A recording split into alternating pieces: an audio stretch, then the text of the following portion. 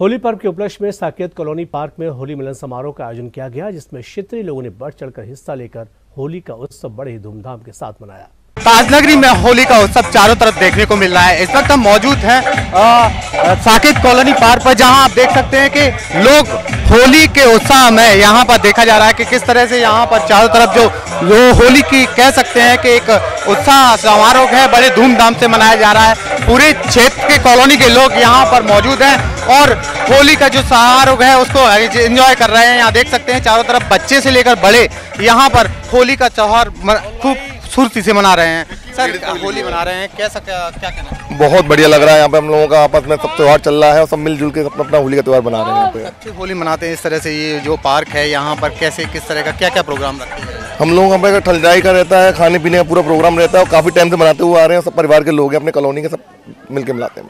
Sir Holi का त्यौहार है किस तरह से आज इंजॉय कर रहे हैं?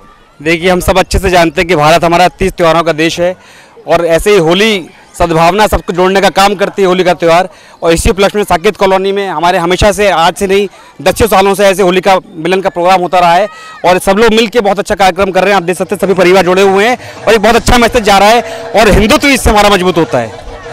सर होली का त्यौहार मना रहे हमारी कॉलोनी में सभी प्रेम भाव से मिलजुल कर बहुत शानदार ढंग से खान पीन के साथ बहुत जोरदारी का होली समारोह मना रहे हैं। इसके लिए मैं कॉलोनी वासियों का बहुत आभार है। बहुत ही सहयोग कर रहे हैं और बहुत ही आनंद ले रहे हैं।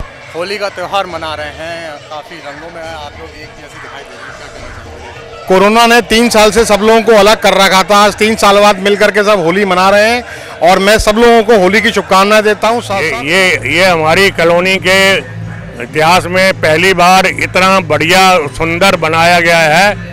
और उसमें सारी कॉलोनी वासियों ने भाग लिया है। और बड़े उत्साह से ये मनाया जा रहा है। आप देख सकते हैं और हर आदमी बहुत ही बहुत ही खुश है। और होली का प्रोग्राम ये पहली बार ऐसा उत्सव मनाया जा रहा है और इसमें रंग रोगन का कोई व्यवस्था नहीं, केवल गुलाल की ही होली है और फूलों की होली है। और इसमें तमाम बच्चों के लिए अन्य खेल खुल की खेल खुल की भी सुविधा है और खाने पीने की भी अच्छी व्यवस्था है यहाँ पर।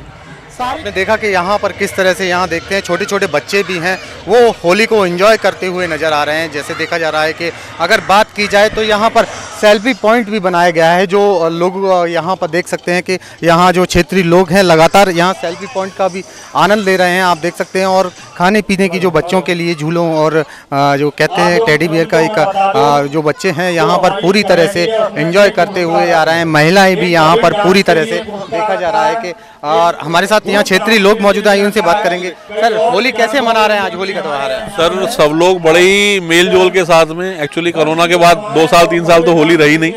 इस बार होली बड़े ज़ोर शोर से मनाई जा रही है और बड़े आनंद से उल्लास से मना रहे हैं हम लोग। संदेश देना चाहेंगे? बस सर नशेबाजी नहीं होनी चाहिए। आदमी बिल्कुल प्यार से मोहब्बत से मिलाए होली को। इसको त्योहार को बस नशेबाजी से खराब ना करे। हमारा तो सीधा सीधा संदेश जय श्री राम! तो देखा यहाँ पर काफ़ी खुश हैं लोग और लगातार ताजनगरी के साथ साथ कह सकते हैं कि ये शाकित कॉलोनी है जहाँ पर होली का उत्साह बड़े ही धूमधाम से मनाया जा रहा है। अपने साथी राहुल के साथ गोपाल शर्मा सी न्यूज़ आगरा।